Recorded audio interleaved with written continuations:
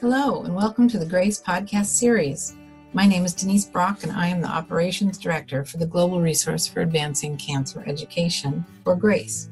In this podcast series, we interview patients, advocates, and healthcare professionals to provide the most updated information for our community and to highlight important issues facing those dealing with a cancer diagnosis. We hope you find this information valuable. For questions or comments, please visit us at cancergrace.org.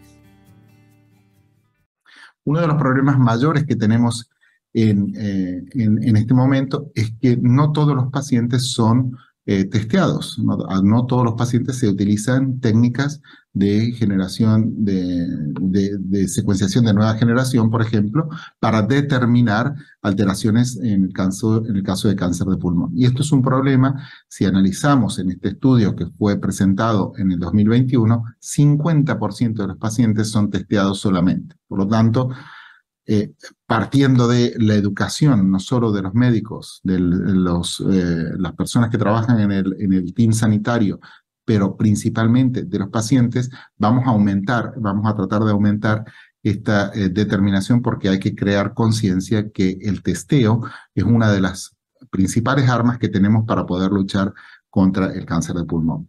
Y si ven, en los últimos años, yo les mostré al principio un cuadro donde había diferentes alteraciones y cómo fueron aprobadas, vemos que en los últimos años esta explosión de aprobaciones no se siguió de una explosión de, de testeo. Por lo tanto, hay que eh, eh, tratar de ser embajadores de, esta, eh, de esta, este esfuerzo de testear a todos los pacientes y exigir como pacientes que se testeen en el caso de, los, de, situaciones en las cuales vemos que no, no ocurre. Uno de los estudios que eh, fue creando mucha robustez en cuanto a los eh, tratamientos, a la, posibilidad de utilizar biopsia líquida para detectar a los pacientes con alteraciones, es este estudio que se llama NILE. Y como ven, uno de los problemas que tenemos, aquí vemos estas son alteraciones genómicas, diferentes alteraciones genómicas, porcentajes, aquí en azul dice eh, QNS, que quiere decir cantidad no significativa de tejido.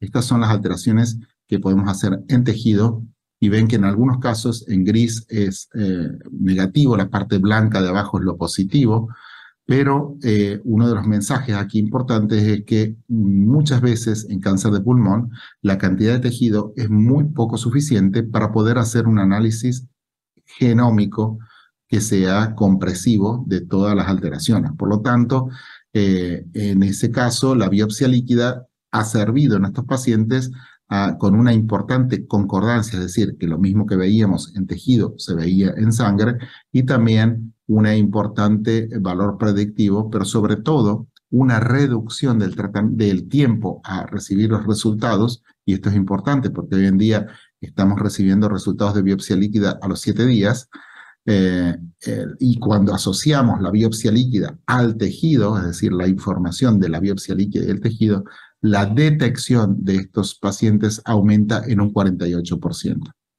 Por lo tanto, la biopsia líquida primero es una opción importante para estos pacientes.